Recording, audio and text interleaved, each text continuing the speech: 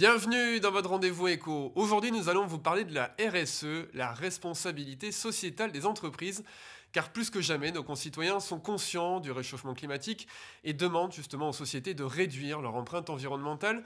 Mais comment peuvent-elles justement y parvenir concrètement et avec quelles conséquences sur les prix aussi pour le consommateur? On va en débattre avec Frédéric Lanoé, qui est le directeur général du groupe Valorem, spécialiste des, énergies renouvelables, et Philippe Lassalle-Saint-Jean, directeur général de la Maison Menot et président d'Interbio Nouvelle-Aquitaine.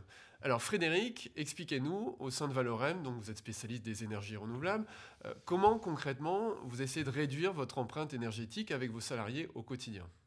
D'accord, bah, nous, euh, ça fait 25 ans que Valorem a été créé et notre première mission, c'est de faire des centrales euh, à énergie renouvelable. Donc ça a été des éoliennes terrestres pendant longtemps, maintenant c'est de plus en plus de panneaux photovoltaïques.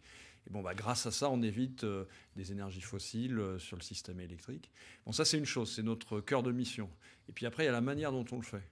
Et ça, euh, c'est plus un peu notre orgueil de dire, bah, on, va le faire de manière propre. Donc ça veut dire concrètement qu'on a rénové la flotte de voitures et 30% des voitures maintenant sont des voitures électriques. Ça veut dire encore mieux le vélo. les, les 260 employés de Valorem bah, s'évertue à faire chaque année plus de vélos. Donc on a un petit challenge interne. Et vous essayez, vous incitez aussi financièrement Alors, les salariés ça passe par des, ça passe par. On a doublé la prime au vélo. Il y a une prime nationale, on l'a doublée. Mm. Et voilà, on essaye de faire tout un tas d'incitations qui vont dans ce sens. Puis après, il y a tous les moyens aussi de transport. Et comme toutes les entreprises, on a développé la vidéoconférence, mais on encourage les employés vraiment à, questionner les voyages. Euh, les mails, on, met en place un système de gestion documentaire pour essayer d'éviter tous ces attachements autour des, mails qui sont très euh, riches parce qu'on a tendance à l'oublier, mais les mails, c'est quand même 6%.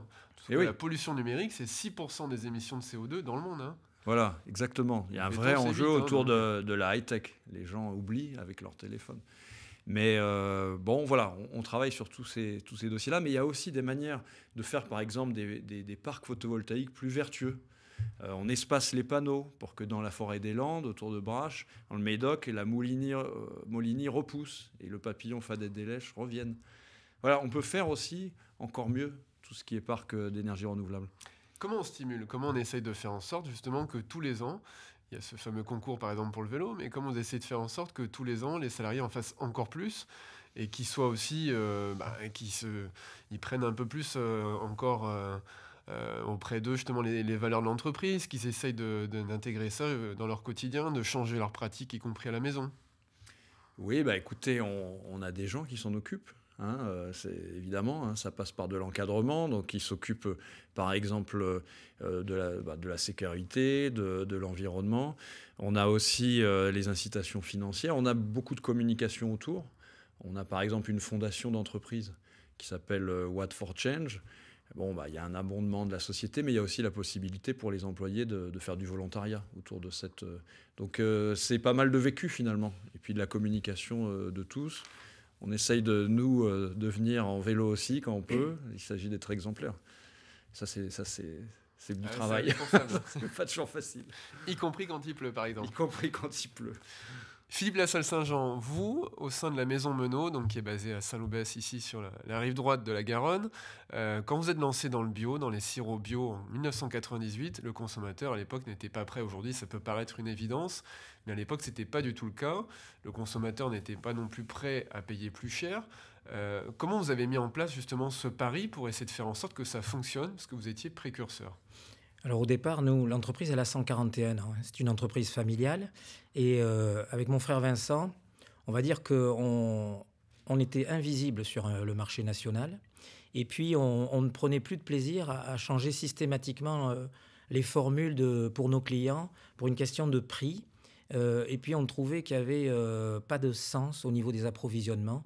Euh, et donc, effectivement, on s'est posé la question dès 95, grâce au Centre des jeunes dirigeants dont on faisait partie. Et puis, euh, en 98, l'aboutissement, ça a été une certification par EcoCert euh, pour la première gamme des sirops bio et équitables en France. on a été les précurseurs, effectivement. Et quand on l'a proposé à nos clients, eh bien, ils nous ont dit c'est super, mais c'est trop cher. Donc, on est monté avec mon frère sur Paris dans un salon qui s'appelle aujourd'hui Natexpo, qui s'appelait Diet Expo. Puis on a découvert, on va dire, une sorte de, fort retranché euh, gaulois, de, de, gens qui pensaient différemment et qui nous ont tous ouvert les bras en nous disant mais c'est formidable. Mais alors donc c'est vraiment bio, vous êtes vraiment fabricant. Mais oui, oui, on fabrique euh, effectivement et notre histoire a commencé sur le port de Bordeaux. On s'est fait certifier par EcoCert. Et puis à partir de là, on va dire que la, progression à deux chiffres n'a cessé d'être le, lien de l'entreprise. Ensuite, c'était un vrai pari. Alors c'était un pari, mais c'était, on a suivi notre intime conviction et on, a fait ce qu'on a fait. Enfin, dans l'agriculture, on appelle ça le bon sens paysan. C'est-à-dire qu'à partir d'un moment, vous vous dites euh, euh, qu'est-ce qu'a fait papa? Et alors euh, papa, je, je, le dis souvent, il était certainement certifié bio, mais il n'y avait pas besoin de certification à l'époque. Les, les cuves étaient achetées localement parce que la RSE, c'est, c'est, c'est une activité complète. C'est-à-dire que quand on se pose la question de l'énergie, effectivement, nous aujourd'hui, on est sociétaire d'Enercop et 100% de notre énergie, elle est renouvelable. Euh, nos matières premières, elles sont achetées de manière équitable avec des contrats d'engagement sur trois ans. Alors, on nous dit que le sucre de canne, il est exotique, effectivement. Pour nous, c'est Paraguay, c'est Brésil. Mais d'ores et déjà, c'est une prime qui est donnée aux paysans bio de telle manière qu'ils puissent vivre décemment de son, de son métier. Et quand on peut, on achète localement, c'est-à-dire que tout ce qui est produisible localement, on l'achète localement. Les carottes, les pommes. Euh, on, a, on, a, depuis trois ans une, une, vie avec 60 producteurs de pommes à Moissac et on achète de manière équitable ces pommes chez nous, dix variétés différentes qu'on retrouve après dans notre jus de pomme. Est-ce que ça coûte justement plus cher, forcément, de produire en bio aujourd'hui? Alors la bio, aujourd'hui, il faut savoir qu'elle représente une, une, une, une, part minime du marché. Donc effectivement, ce sont des petites entreprises, des petits producteurs, et euh, on voit bien avec la loi Egalim qu'il y a eu un problème de la valorisation du métier d'agriculteur. La bio, elle a pris ça en compte de manière holistique dans le fondement même de ceux qui ont, fait ce règlement. Donc aujourd'hui, oui, ça coûte plus cher. Pour vous donner un ordre d'idée, euh, quand j'achète du sucre au Paraguay, mais la betterave que je vais acheter demain en France, puisque ça fait plus de 20 ans, il n'y avait toujours pas de sucre bio en France, elle va coûter trois fois plus cher que euh, la betterave produite de manière conventionnelle.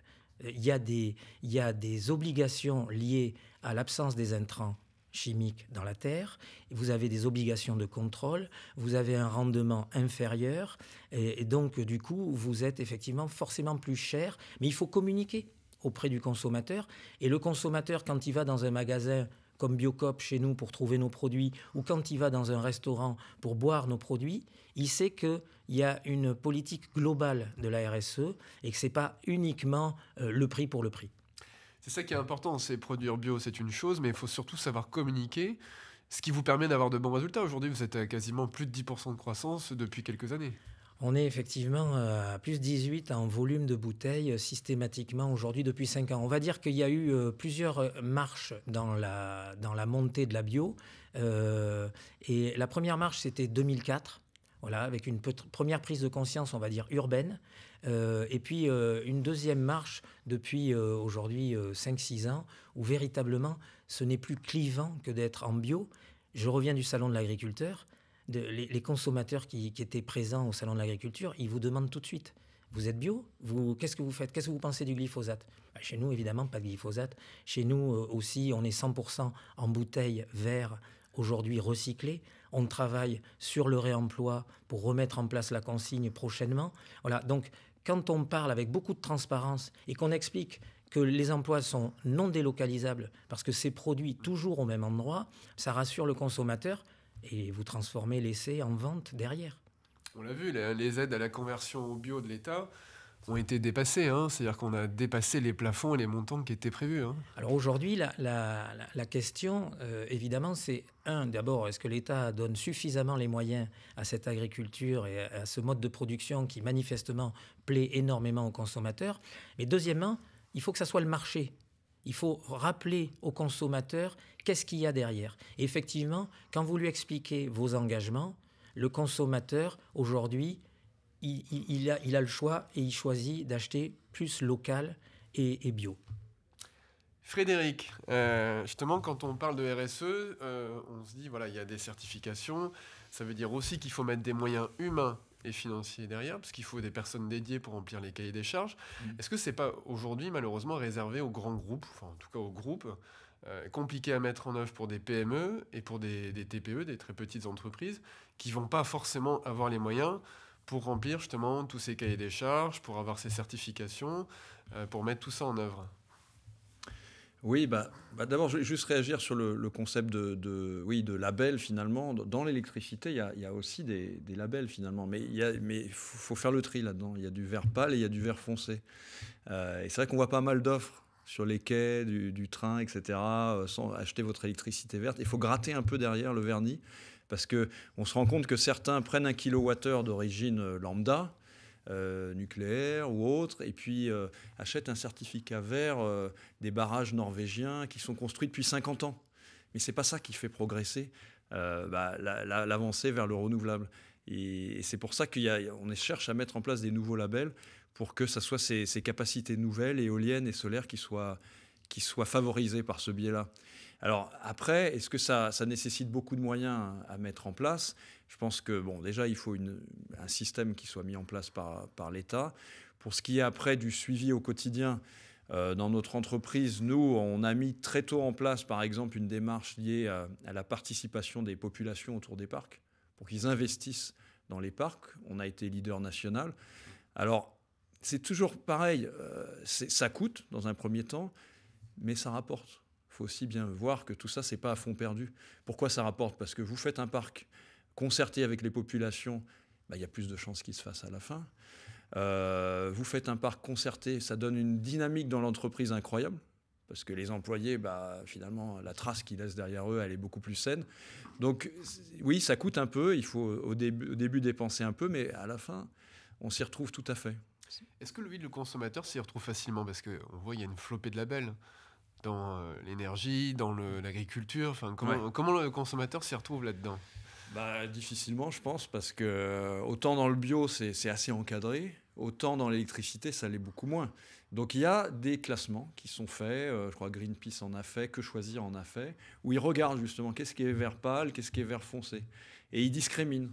Et clairement, bah, vous citiez Enercop, euh, ça, c'est des gens qui font de l'incrémental. Donc, ils s'assurent que vous consommez, un mégawattheure, bah, ils ont injecté un mégawattheure, si possible en France, parce qu'il y a cette question, vous parliez du local, le locavore, ça vaut pour l'électricité. Hein.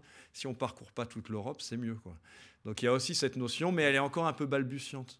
Et justement, avec quelques-uns, on cherche à monter un label national avec cette, cette notion de vert, incrémental et produit localement il faudrait que le gouvernement se, se, penche sur le sujet.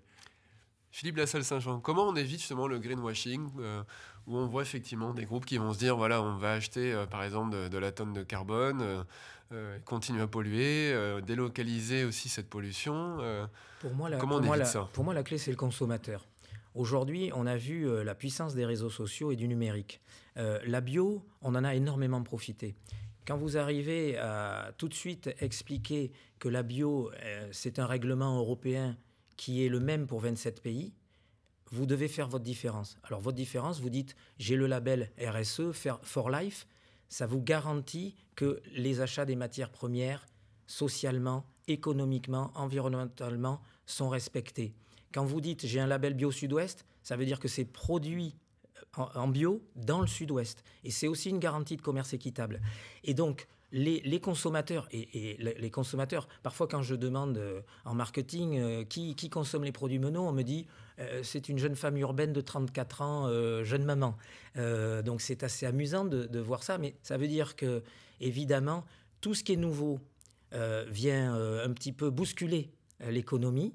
Les, les, jeunes populations qui ont le numérique euh, attaché dans leur veine tous les matins, elles se renseignent. Et je peux vous dire que euh, beaucoup de notre croissance, puisqu'on ne répond qu'aux appels entrants et qu'on ne fait pas de publicité sortant, beaucoup de gens savent qu'on va abonder dans un fonds de dotation ici à Bordeaux, à Darwin, qu'on a mis en place effectivement nous aussi des voitures électriques qui sont rechargées exclusivement à l'énergie renouvelable, que nos camions tournent au bioéthanol quand ils livrent, qu'on a dit à nos clients, ben non, je ne ferai pas de petites livraisons, je vais faire que des camions complets parce que c'est ridicule de déplacer sans arrêt des petits camions. Voilà, tout ça, on l'explique et les consommateurs viennent à nous euh, naturellement. Alors il y a une relocalisation des achats. C'est assez amusant. Quand on est un peu vieux euh, comme moi, euh, ça paraissait du bon sens quand, il y a 40 ans.